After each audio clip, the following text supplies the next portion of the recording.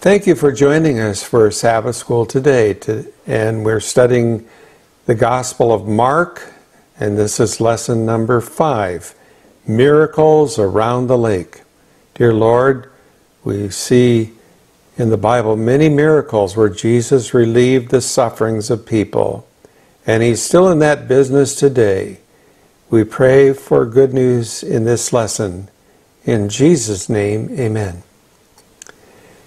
We read that perfect love, which the original language is agape in the New Testament, works a miracle in every human heart where it finds residence.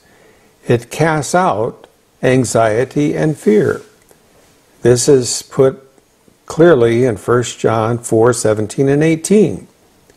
Herein is our love made perfect, that we may have boldness in the day of judgment. Because as He is, so are we in this world. There is no fear in love, but perfect love casteth out fear, because fear hath torment. He that feareth is not made perfect in love. Beautiful statement.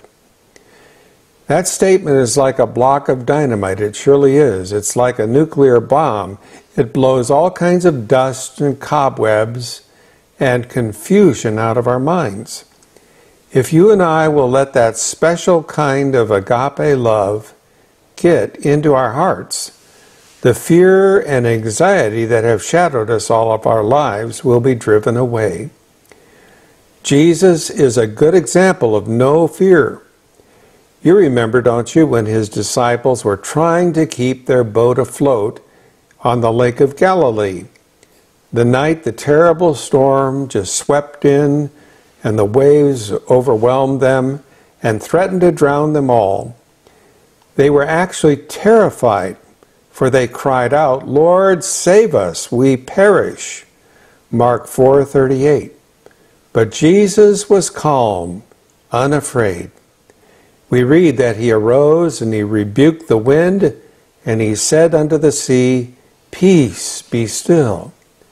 And the wind ceased, and there was a great calm. And he said unto them, Why are you so fearful? How is it that ye have no faith? Wow!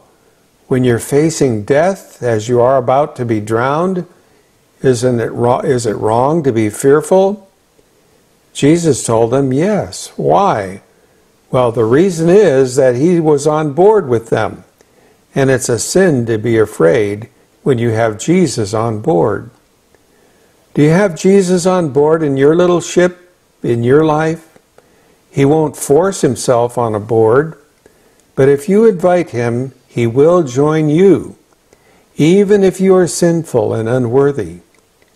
He tells us he came to save sinners, not the righteous. Have confidence in Jesus. Learn that lesson. Let the fear go. O Father in heaven, daily we sometimes operate on fear. Let's invite Jesus into our hearts. Peace be still, he says. In his name, amen.